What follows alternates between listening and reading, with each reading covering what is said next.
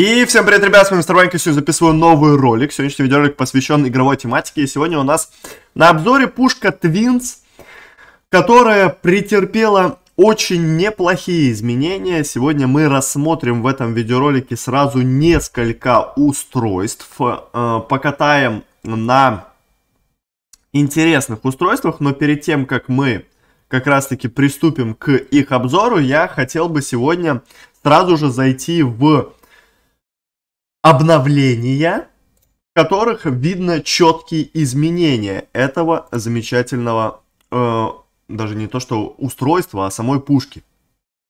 Сегодня мы сыграем на э, таких устройствах, как э, Испепелятор, Креатрон, ну и затем добавим еще дефолтного магнетрончика, который я относительно недавно записывал, но на сегодняшний день он также претерпел определенные изменения. Поджог скрита теперь на твинсе наносится на 4 секунды меньше, вместо 5, но зато больше не замедляются скорость шариков и не снижается критический урон. На твинсе это было очень сильно с поджогом именно заметно, что как раз таки скорость снарядов была понижена, Насчет критов э, я, честно, особо сильно ничего не замечал, но знаю, что скорость снарядов и дальность была супер слабая для этого устройства. Криатрон теперь наносит статус эффект заморозки на 10 секунд вместо 5, при этом не увеличивает э, дальность минимального поражения. Там скорость снарядов была намного интересней и смотрелось круто. Что касаемо магнетрона, то Здесь Эми теперь накладывается всего лишь на одну секунду, но при этом не снижается критический урон и не повышается дальность минимального поражения. То есть мы будем видеть обычный стандартный дефолтный твинс с непониженным критическим уроном и с возможностью на постоянной основе наносить как раз таки Эми статус эффект на противника. Э, расскажу также, почему именно эти три устройства мы сегодня тестируем. По сути, у меня нету на сегодняшний день ни оглушения, ни пробития. Что одно, что второе устройство до сих пор у меня не выбито. Возможно, в ближайшее время я их выбью. Ну и э, почему мы сегодня не будем тестировать э, подавление. По сути, с ним ничего не изменилось, и его относительно недавно я как раз таки обозревал. А вот эти вот три замечательные устройства и претерпели хорошие изменения. И плюс я вчера, кто смотрел стрим, рассматривал все эти устройства и для себя понял, что это ну, довольно интересная тема для как раз таки видеоролика. Поэтому скатаем на всех трех, расскажу принципы и актуальность использования этих устройств – ну и постараюсь показать хороший результат. Э, с этим твинсом мы используем паладина, потому что, на мой взгляд, это лучший корпус для реализации как раз-таки устройств, которые наносят дополнительный статус-эффект.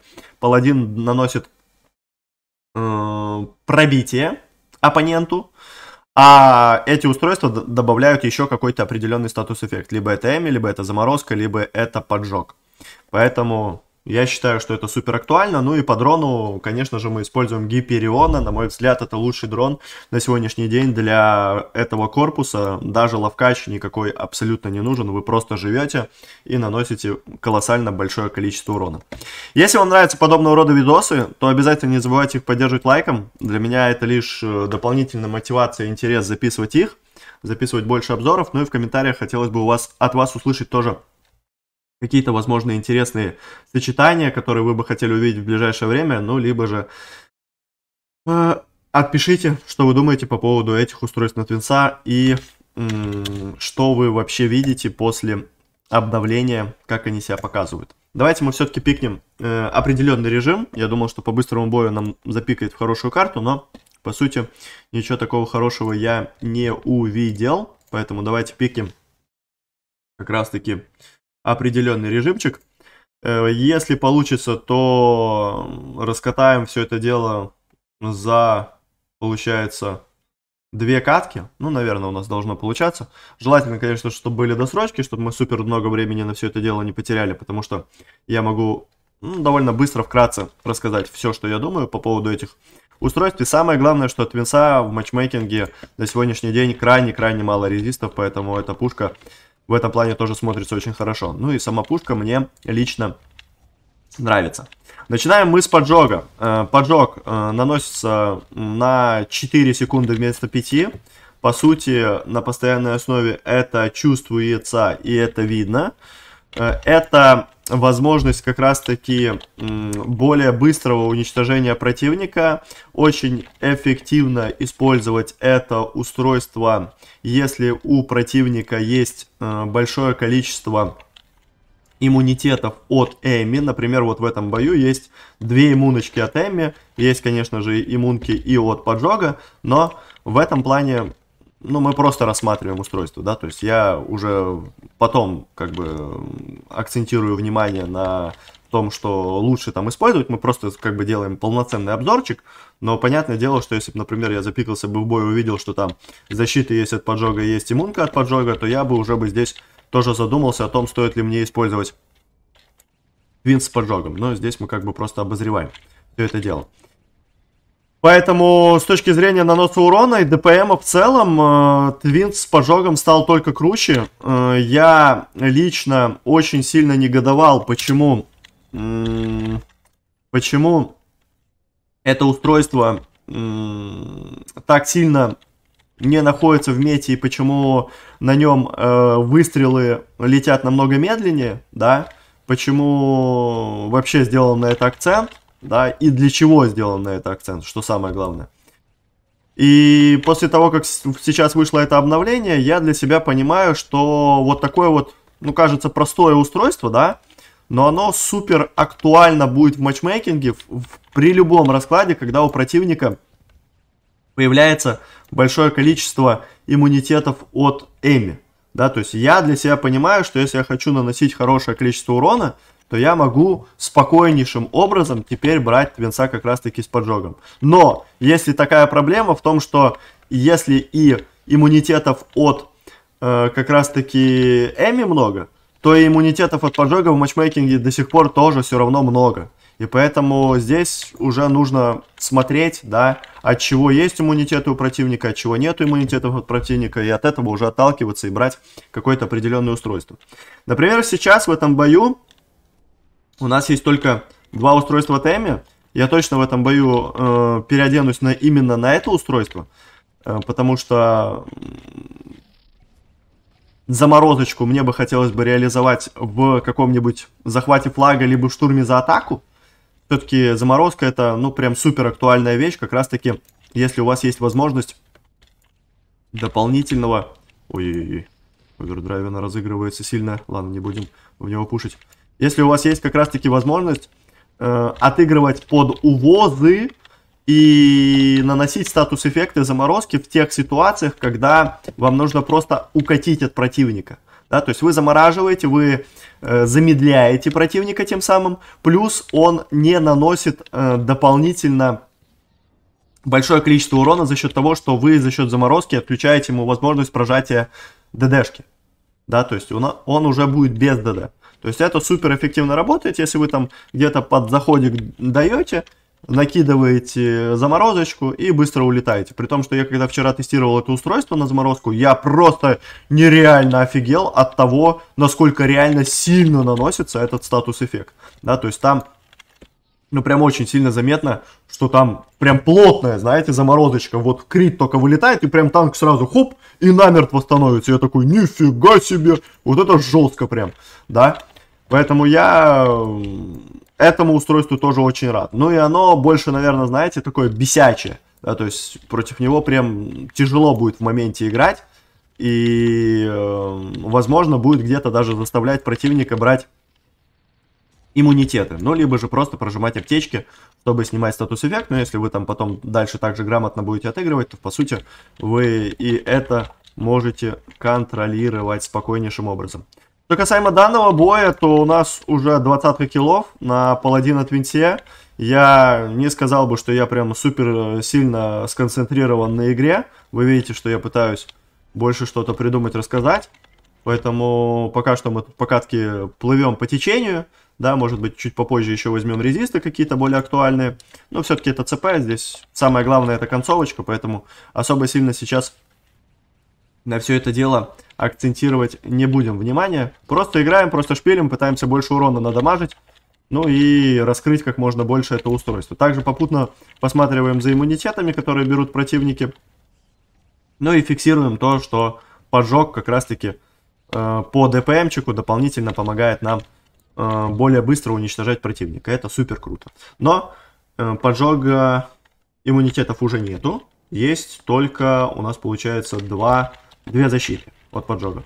Ну и паладинчик вообще, ну, шикарно, я не знаю, но это прямо лучший корпус для реализации твинса. Гиперион тоже, я считаю, что это лучший, э, лучший дрон для реализации этого твинса. И в сумме мы получаем просто супер крутое сочетание, которое может себя очень круто показывать, реализовывать и нагибулить. Вот так вот просто наносите пробитие, плюс летите с крита, наносите еще дополнительно статус эффект поджога, и на всем протяжении времени, пока вы дамажите противника, у него э, два статус эффекта, быстрый нанос развал урона и быстрое уничтожение, да, то есть что вам еще нужно? По сути, все реализуется супер круто. Да, понятное дело, что если... Ну ладно, давайте чуть попозже, я по рейтингу потом пройдусь, определенному этих всех устройств, да, на мой, на мой взгляд, из тех устройств, которые мы сегодня именно протестируем, я сделаю рейтинг их и расставлю их по позициям по нагибу, да, то есть, по моему мнению, какое из устройств нагибает лучше всего, какое менее всего, да, если мы рассматриваем их просто в целом. Так, у нас 7,5 минут до конца, я тридцатку киллов свою уже дал, вы видите, что уже противник даже взял резисты от Твинса, целых три штуки уже появляется, при том, что я запикивался в катку, был только один. Ну и сейчас мы возьмем Эми. Я, честно, на Эми еще ни разу не играл. Вчера я тестировал как раз-таки только устройства, которые у нас были обновлены более сильные, которые я не особо сильно понимал, как работают, да, после обновления.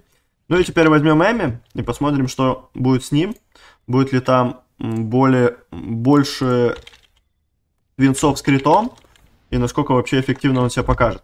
Иммунитетов у нас есть раз, у нас есть два. Два иммунитета всего лишь от Эми, это очень мало. Поэтому, по сути, мы должны хорошую реализацию как раз-таки показывать. Главное, не попадать на тех противников, которые как раз-таки с этим статус-эффектом имеются. Ну а так, если наносить урончик с Эми, да, по противничку, то это супер круто смотрится с точки зрения того, что ты на постоянной основе сбиваешь расходку противнику. На постоянной основе. У него не будет возможности прожимать эту расходку, потому что если он ее прожмет, через буквально секунду после того, как он нажимает, ему опять она сбивается за счет как раз-таки критического попадания, и он, по сути, на постоянной основе будет просто без расходки, да, вот, например, как сейчас, да, вы видели, что он прожал опять дашку, опять аптечку, если бы я бы не умер, то буквально через еще одну секунду у меня бы вылетел бы второй крит, и я бы опять бы оставил его без расходки, то есть это тоже максимально тролльное устройство, которое тоже вынуждает противника на, ну, негатив, агрессию, нервы и все в этом духе. Ну а с точки зрения вашей реализации, это, конечно, супер крутая пушка под троллинг, под уничтожение, под нагиб, под развал оппонента. 36 на 14 мы идем. 5,5 минут до конца. По катке мы пока что выигрываем. Это очень тоже неплохо. У меня есть овердрайв. Попробуем сейчас его тоже реализовать. Под этот овердрайвик попробуем влететь. Вражеский э, викинг э, вжимает свой овердрайв, я видел. Отлично как он вжимал его. Так, ну и мы стараемся просто на килы сыграть. Где-то даже чуть, может быть, э, более агрессивно сыграть. Ой, аптечку-то зря я нажал. Можно было аптечку попозже нажимать, а не так рано. Ну ладно, в целом все равно под статус эффекты отлично можно навалить. Поэтому, ну, паладин от Винс, ну просто, ну сказочка, ну супер сочно. 870 очков у нас уже есть, при том, что противник довольно неплохой, да, я бы не сказал, что нам тут пул криповиков накидала против. Есть и неплохие ребята. Но Эми, конечно, ну, ну вот видите, вот, например, вот такая ситуация, да, то есть я сбиваю расходку, противник опять прожимает расходку, и опять через буквально там секунду-две он опять остается без расходки, то есть вы опять ему эту расходочку сбиваете. И вот так вот эффективно все это дело можно реализовывать на постоянной основе. Супер круто, супер бомбически, просто.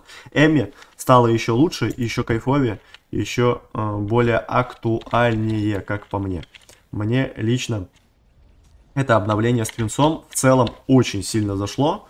И я рад, что такие обновления происходят с этими пушками, которые, ну, наверное, в матчмейкинге в последнее время особо никто сильно не использует. Хотя они все равно являются метовыми и можно их круто использовать и реализовывать. Также вы не забывайте о том, что у Твинса есть еще дополнительный splash урон. Если два противника стоят рядом, вы можете спокойно splash ом еще накидывать хорошие тычки. Да, либо даже вот по трем противникам. Сейчас у нас был дополнительный нанос урона. Это супер эффективно, тоже супер круто работает. Так, но по бою у нас 4 минуты до конца, мы проигрываем. Противник контролирует пока что три точки. Будем стараться сейчас эту ситуацию исправлять. Что у нас по иммунитетам? Не, не поменялось что-то? Ой-ой-ой-ой-ой-ой, о, хорошо, хорошо, хорошо. Вот так вот, если противничек всегда будет стоять, это будет супер шикарно. Так, прожимаем овердрайв. Надеюсь, что я до аптечки доживу. Надеюсь, что меня сейчас Хантер не забьет своим овердрайвом. Ах, еще и Скорпион свелся.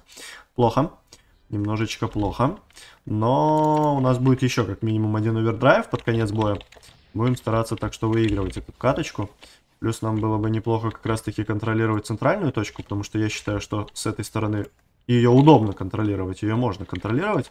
По Эми, нет, все так же 2. Просто еще единственное, что чувствуется, это когда противник прожимает аптеку, и бывает совпадает так, что аптека как раз-таки прожимается в тот тайминг, когда вы наносите критический урон.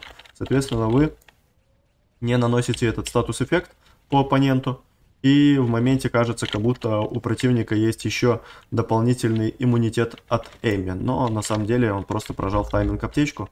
И за счет этого вы ему статус-эффектик не нанесли. Но так, конечно, все шикарно. Наша команда тоже хорошо себя показывает. Уже забирают даже базовую еще одну точку. Играем под трупом, чтобы меня Викинг с овердрайвом не набрил. Отличный шар от тиммейта. Боже, какой же жесткий. Не зря у него никнейм босс. Просто босс, три семерки, три девятки, навал контента от него. Хорошо, хорошо то, что нам и надо. За две минуты до конца законтролить все точки противника. Сыграть максимально агрессивно, максимально жестко. Плюс Викинг добавляет еще один овердрайв. Босс на контролинге удерживает как можно дольше позиции. Отлично, дэшечку мы на, на подконтролинг также забираем. Но недолго музыка играла. И все-таки они начинают тоже отжимать. Но есть еще добавка овердрайва от э, Скорпиона. Хорошо. Цешечка в половишке. Две минуты до конца. В принципе, как только у меня появится овердрайв, я тоже могу его вжать. Чтобы попробовать э, придержать. Отличный отрыв у нас по точкам тоже уже появился за счет того, что мы захватили 5 точек. Ну и вот это тоже очень хорошая позиция через лево. Можно здесь эффективно стоять, накидывать урончик. Хантер пытается забирать точку на центре. Так, у меня есть овердрайв. Стоит ли его сейчас прожать без аптечки? Ну, наверное, давайте не будем этого делать. Пока что сыграем чуть еще агрессивнее. Вот этого молодого человека есть иммунитет в теме. Так, может быть, если меня не сольют, то я еще чуть поживу. Да, вообще можно было, по идее, наверное, раздаваться. Минута до конца. Сейчас мы точно поедем уже раздавать свой овердрайв и стараться доконтролить э, точки. По сути, наверное, все у нас должно в этом плане получаться. Если мне сейчас в моменте не залетит большое количество урона, раздаемся. На контролинг точку делаем. Сразу выпушиваем право. Сразу играем в агрессию. Забираем позиционочку.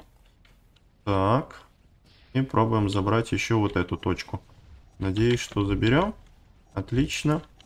Дэшечка. Викинг пока что выжимает овердрайв на центре. У меня тоже там прожимается еще какой-то дополнительный овердрайв. 30 секунд до конца. Мы ведем в плюс 13. И даже, по сути, если мы сейчас будем контролировать две точки, может даже одну точку, мы все равно эту катку уже должны выигрывать, потому что времени крайне мало остается, чтобы противник мог что-то сделать. Ну, шикарно, шикарно, просто. Твинс ЭМИ пока что показал себя еще жестче. Ну, в принципе, как это и должно было быть. Твин Сэмми просто сказочка, просто кайфов... кайфовочка. В принципе, по киллам, наверное, не сильная разница, да? Половишки, но ну, вы сами можете посмотреть, сколько было там за половину. Сколько было очков, но вот полторы тысячи очков я за одну матчмейкинговую катку набиваю на паладина Тринсе. Шика... Считаю, что это супер шикарный результат для такого боя. Прям очень-очень круто.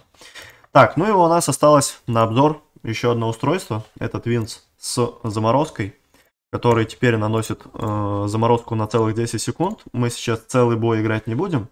Я просто хочу показать э, то, как это работает. Ну и постараюсь еще дополнительно увести флажочек, чтобы уже сильно не затягивать этот видос, не играть полный бой. Я просто покажу, как работает и насколько это эффективное тоже устройство. Ну и дальше уже выставлю свои приоритеты по этим устройствам. О, шикарная карта, ну просто идеалочка нас закидывает как раз на маленькую карту, где можно будет видеть э, полную реализацию. От заморозки как раз таки э, сейчас иммунитетов и защит э, самое маленькое количество в матчмейкинге встречается, поэтому ее эффективность, наверное, в моменте может быть даже самая большая. Ну и единственное, чем могут контрить противники без иммунитетов и защит от заморозки, это как раз таки только аптечками. Э, сразу с одного лишь крита э, противник на протяжении 10 секунд э, имеет над своей головой вот этот вот э, статус заморозки. Плюс у него довольно неплохо э, начинает привариваться корпус плюс башня. Ну и на протяжении всего этого времени он не наносит урон с ДДшки. Э, он просто как будто ее не имеет, да, за счет того, что эта заморозка сейчас таким образом работает. Ну вот, видите, просто рандомный шарик залетел, и там уже Викинга Твинс еле едет по карте. Э, по заморозке в моменте, наверное, это как э, два тика первых э, с шоковой заморозки. Да, то есть вот этот критический один выстрел, это как два тика с шоковой заморозки. Плюс-минус где-то около этого должно быть. Но, к сожалению, сейчас не было противника у них на базе. Так бы я бы мог неплохо показать, как можно заморозить, оставить противника и просто уехать. Но мы шикарно еще и быструю доставочку здесь оформляем. В целом, э, заморозка, она не дает э, преимущества по э, как можно быстрее уничтожению противника, да, то есть вы э, демеджа per second, то есть э, дамагов в секунду не наносите больше, да, у вас, по сути, не меняется скорость уничтожения противника, но зато меняется возможность отрезать противника, э, замедлить его уничтожение по вам и, э, ну, просто деморализует противника, я бы сказал бы, наверное, так. Потому что заморозка это, ну, такая очень бесячая вещь. Особенно если вы, например, наносите критический урон. Да, вот сейчас постараюсь нанести. Блин, что как-то крит не вылетает. О, вот так вот. Заморозочку нанесли, и пусть он там, как говорится, страдает. Все, он под заморозкой 10 секунд, пока он там раздуплится, пока он там проедет, да, то есть он уже э, где-то на негатив выйдет, да, пока он там будет двигаться супер медленно. То есть это вот с точки зрения троллинга просто идеальное устройство. Вы просто деморализуете противничка и э, заставляете его грустить, страдать, бомбить и вот все в этом духе делать. Так, главное, чтобы мне сейчас сосули не прилетело. А так раздаюсь, конечно. Ну и паладин в очередной раз. Возможность еще одного дополнительного статус-эффекта. Хотел я, конечно, эту игру полностью не играть, но я вижу, что уже счет у нас 3-0. И мне, конечно, хочется ее доиграть до конца. Но тогда у нас получится супер долгий видос. Нет, давайте, наверное, давайте просто попробуем еще одну доставочку сделать. В принципе, как работает Твинс, вы уже и так понимаете. Как это все можно эффективно использовать. Поэтому давайте мы просто еще одну доставочку сделаем. Грязненькую. И уже... Ну, хотел я еще под возвратик сыграть, но наш тиммейт, по сути, мог уже и сам это дело реализовать. Ну и вот так вот спокойненько доставочки оформляете. В целом, что я могу сказать? Очень крутое обновление для Твинса. Я безумно рад, что такие обновления у нас появляются в игре. И то, что есть возможность начать реализовывать старые устройства, которые, ну, наверное, на сегодняшний день не актуальны были и не пользовались спросом. По моему рейтингу э, четырех вот этих вот устройств, да, на сегодняшний день, я, понятное дело, что первое место дам э, Магнитрону, на второе место я сейчас бы очень сильно задумался о том, э, взять твинса с подавлением, либо взять твинса с поджогом, потому что все зависит от того, на чем играет противник. Если у противника бруты, гиперионы и дроны, которые я не буду отключать, либо иммунитеты от подавления, то я бы 100% взял бы э, твинса с поджогом и пробовал реализовывать его. Это устройство, ну это больше троллинг, да, то есть это возможность взять его, если, например, вы играете пачкой, и вы хотите взять прям максимальный пул разных устройств, чтобы дать все возможные статус-эффекты противнику, да, то вот так, тогда такой статус-эффект очень эффективно может сработать, да, как заморозка. Ну а так, Эми 100% лучшая, Дальше, на второе место я бы поставил два устройства, в зависимости от того, какое использовать. Да, это поджог, либо как раз-таки подавление, но подава супер крутая, если как раз-таки есть разные всякие дроны и нету иммунитетов.